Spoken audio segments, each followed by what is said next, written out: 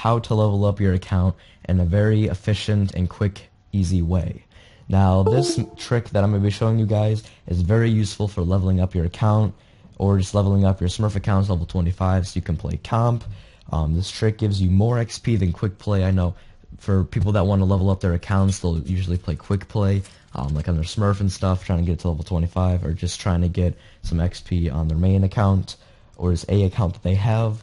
But this um, method is very useful, and on average, you'll get around 3k XP every single win.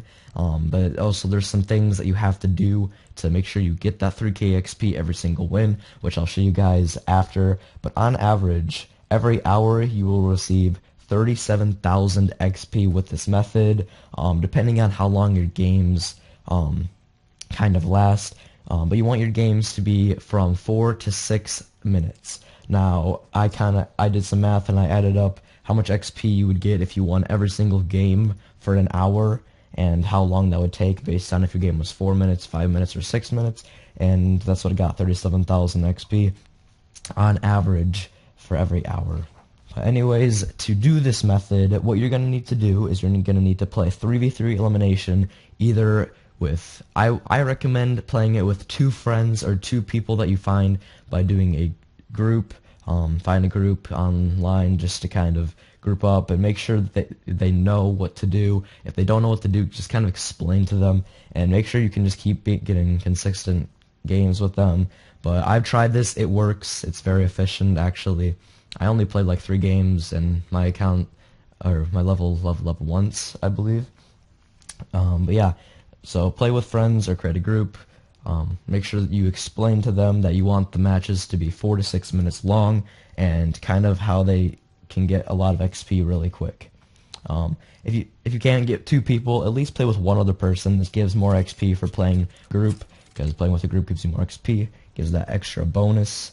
Um, let the people in your per- people or person in your group know that the matches need to be four to six minutes, as I said.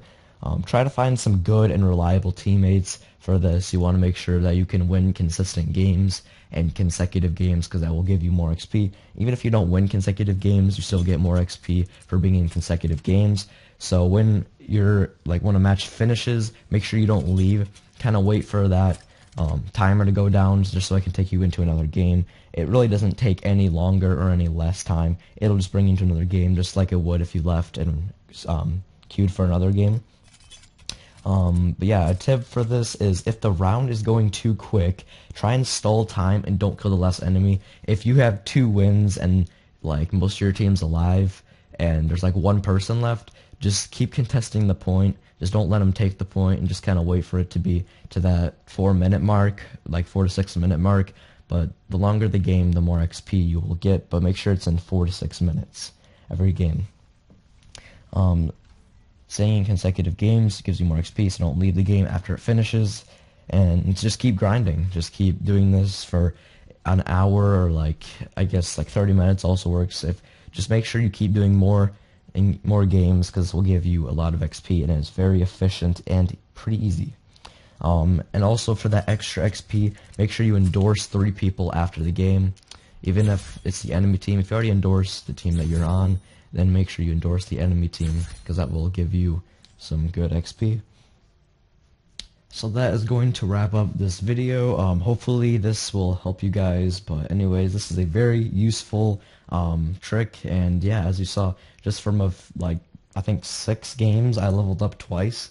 I mean, I'm level 18 now. I'm about to be level 25 pretty soon here. But yeah, um, is a very efficient um, trick. And hopefully this also worked very good for you. But yeah, try this out, and I'll see you guys in another video, and yeah, subscribe and like if you haven't, but see you guys in another video. Peace.